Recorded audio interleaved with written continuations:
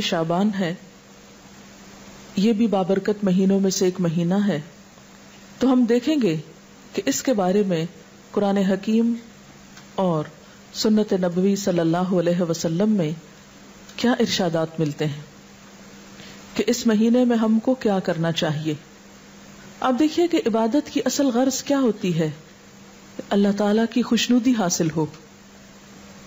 और उसको खुश करने के लिए वही काम करना है जो उसको पसंद है। या उसने बताया है, या उसके यहाँ वो कबूल हो जाए। क्योंकि अजर और सवाब हमको वहाँ से चाहिए, किसी इंसान से नहीं। यानी दीन के नाम पर हम जो कुछ भी करेंगे, उसका अजर और सवाब अल्लाह ताला से उम्मीद रखेंगे। लिहाजा, हमारे हर काम के पीछे नीयत उसकी रजा हो और तरीका उसके बताए हुए कायदों के मुताबिक हो। इसकी फजीलत के बारे में जो चीज़ें हमको मालूम होती हैं, वो अहादीस से हैं। अहादीस में हम देखते हैं कि इस महीने की जो मखसूस इबादत बताई गई हैं, वो रोज़े हैं।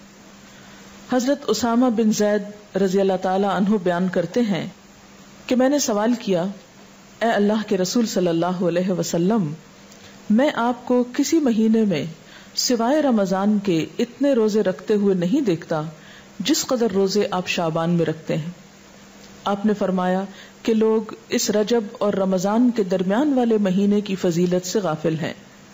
हालाँकि इस महीने में लोगों के आमाल अल्लाह ताला के सामने पेश किए जाते हैं। मेरी चाहत यह है कि मेरे आमाल अल्लाह ताला के सामने मेरे रोज़े की हालत में पेश हों। ये रिवायत जो अभी मैंने आपके सामने रखी, ये अबू दाऊद और नसाई की है। एक और रिवायत में है। तिरमिजी की रिवायत में है, हज़रत उम्म सलमा रज़ी अल्लाह अनहा फरमाती हैं कि मैंने रसूल अल्लाह सल्लल्लाहु अलैहि वसल्लम को दो महीने पैदर पै रोज़े रखते हुए सिवाय शाबान और रमज़ान के नहीं देखा। हज़रत अनस बयान करते हैं कि आप सल्लल्लाहु अलैहि वसल्लम से पूछा गया, किस महीने में रमज़ान के बाद रोजा रखना अफसल है? आपने फरमाया शाबान में। रमज़ान की अजमत के लिहाज से, यानी रमज़ान की एक तरह से तैयारी के तौर पर। फिर आपसे दरियाफ्त किया गया, किस महीने में सदका करना अफजल है? आपने फरमाया रमज़ान में। इसके अलावा और अहादीस भी शाबान की फजीलत के बारे में मिलती हैं। लेकिन वो अहादीस ज़यीफ हैं और बाज तो उनमें से बिल्कुल मौजू हैं मन घड़त हैं। उनकी कोई भी हकीकत नहीं।